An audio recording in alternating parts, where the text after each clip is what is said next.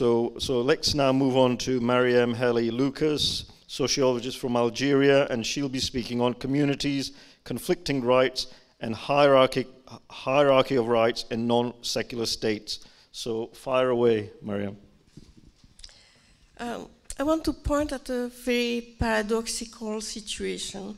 On the one hand, we have, and we pointed at it the whole day, left and human rights organizations supporting the rights of communities, and sadly, not the rights of citizens, as the best strategy to fight racism, discrimination, exclusion, etc., and as a strategy to defend the right to be different. And we have seen again and again during the day that fundamentalists use this to promote their political agenda. Meanwhile, in many of our countries, people are on the street, whether it's in Algeria, in Tunisia, in Egypt, and many other places, fighting for secular laws and not claiming to be different at all. And we have in Europe, everywhere in Europe, women of migrant Muslim descent, which I don't want to call Muslim women, uh, doing the same thing. I mean, saying this is not what we want. We want secular states. So my question to you is: Are we crazy? Are we not? Are we so underdeveloped that we don't know what is good for us, or is it an incredible arrogance from people here telling us what we should think about fundamentalism? I just want to discuss briefly this question of difference. Historically, we know that difference has been used again and again by far right movements, whether it's apartheid in South Africa, whether it's racist southern states in the USA, whether it's Nazism against the Jews. And recently I heard a man from Algeria who was a worker, and he forged a very interesting concept on the basis of under house arrest. He said, I'm under culture arrest. That I think is brilliant, and I used it as the title of one of my articles, referring to him. We are essentializing culture and religion. And to me, it's very similar whether fundamentalists say, oh, Islam is a wonderful religion, it's peace and love, and the racists say, Islam is barbaric. In both cases, we are essentializing Islam. We don't look into the fact that it's people and how they enact what they believe in that are important. So the question we should ask again and again is who defines religion? Who defines culture? Who speaks for religion? Who speaks for culture? And usually it's old male conservative people who are also self-appointed representative of communities. It's not young feminists or old feminists for that matter.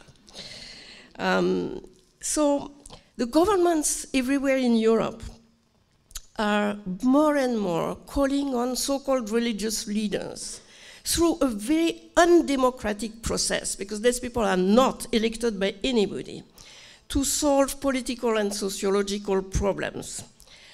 And uh, to bring so called religious solutions to social conflicts.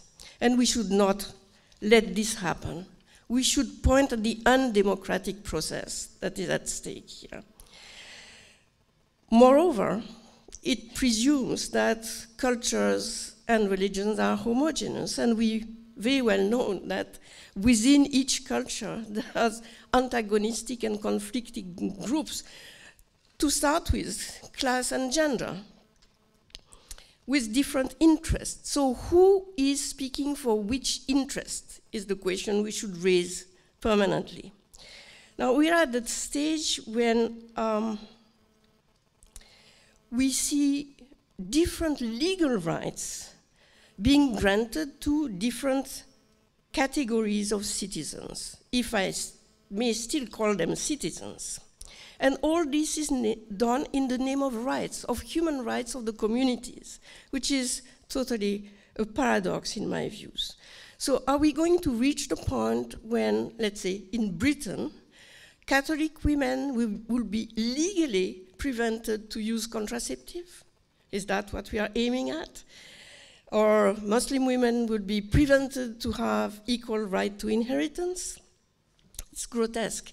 And we have to question these categories Muslims, Catholic, or whatever. Two minutes? I thought we had 10 minutes. No, no, two left. Hmm? Sorry. How come? I started at 30 on my watch. So I'm.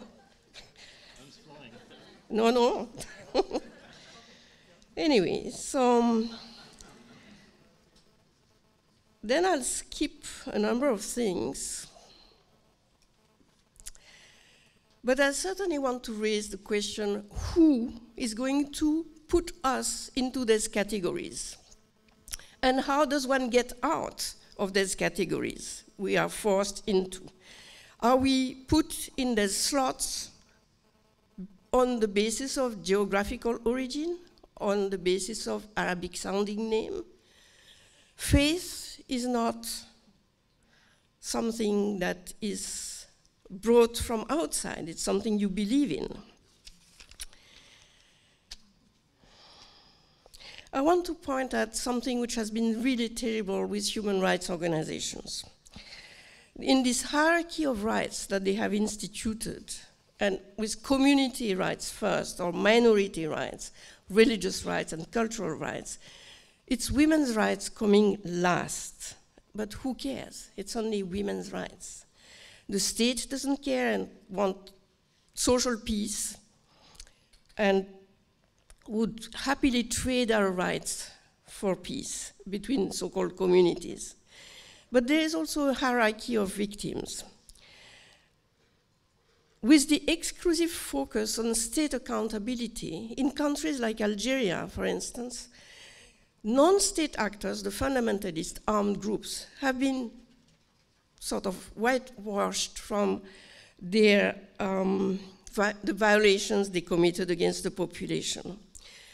Moreover, we were not, as victims of non state actors, benefic beneficiaries of the help from human rights organizations. For instance, it's only fundamentalists who were victims of the state, persecuted by the state, who were entitled to asylum in Europe.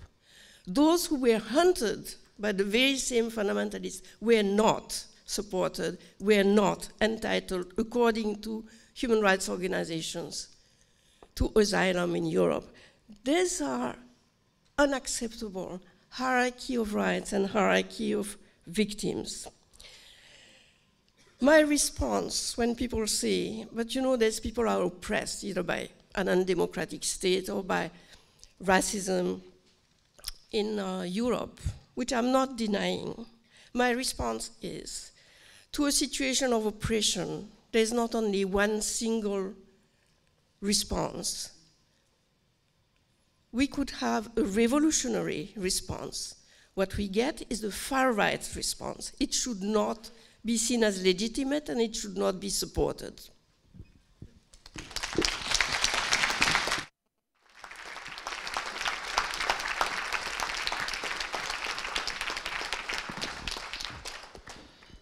Thanks very much, Marieme. Thanks for wrapping up so quickly.